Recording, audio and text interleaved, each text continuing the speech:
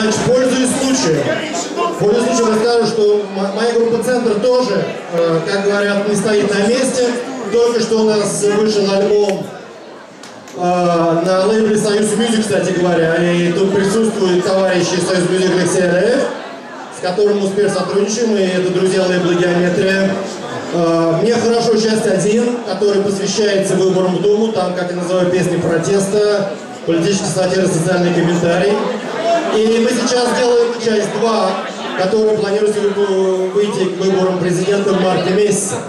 Так что мы тоже на месте не стоим и стараемся реализовывать свой творческий потенциал в очередном альбоме.